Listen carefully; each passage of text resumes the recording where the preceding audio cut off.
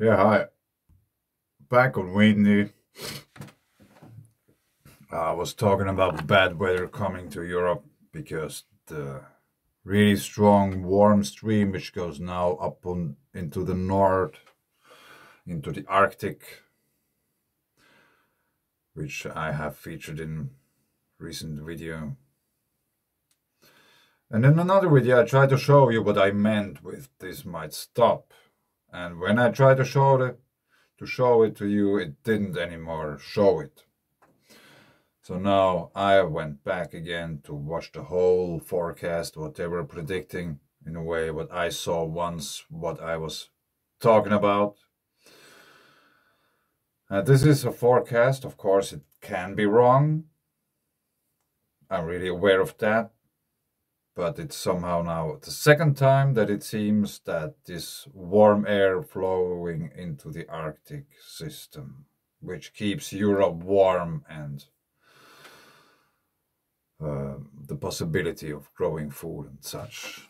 But now check it out, it starts to come from the north downwards already. That's Saturday. Okay, it's a week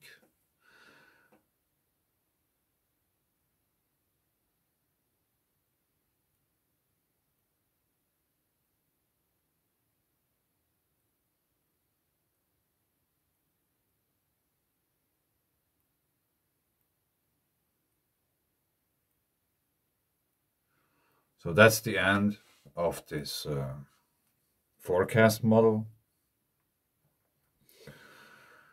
And according to this, it seems to turn around in a way the weather doesn't anymore reach Europe really. We are getting weather from the north. And it also branches up to the west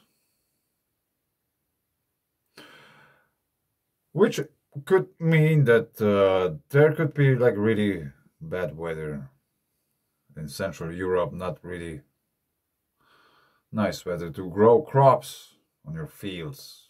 Maybe there's also rain and stuff going on.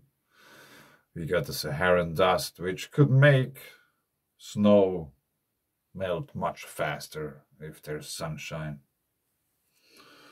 which could make floods as well. And if there's much rain coming and all these kind of things,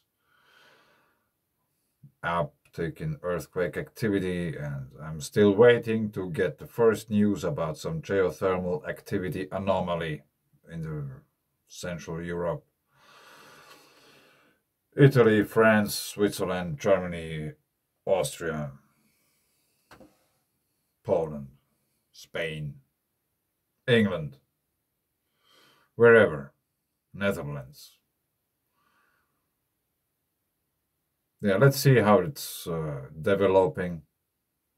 Stromboli seems to be quite active today. There is some activity going on in Iceland. Also, maybe La Palma might crank up a tick. And I still wait that it will erupt again. It's just Mike. I think it's just taking a little break. It will erupt again. La Palma.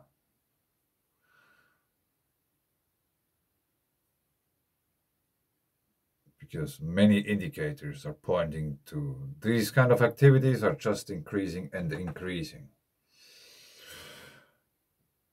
And it might have very much to do with the sun cycle 25, which is really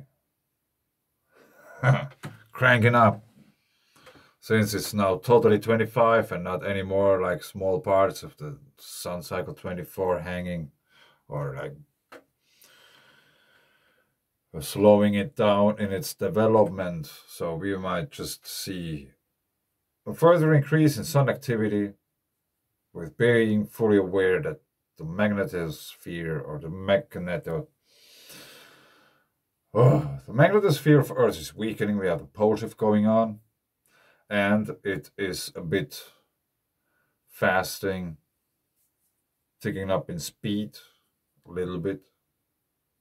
Someone could make the mathematics and count how many percents it sped up, maybe five, five percent faster than last month. Uh, yeah, it's really interesting to see. But somehow, this weather forecast, if that's approximately where we are heading to, and is there a flip in the Atlantic region area in the weather pattern going on for a prolonged period of time, weeks or months? Maybe. At least it started off with this really big sand plume which came from the Sahara to Europe. Unprecedented event. Yeah.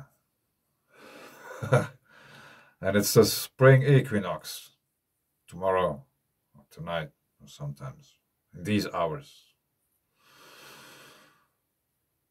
And uh,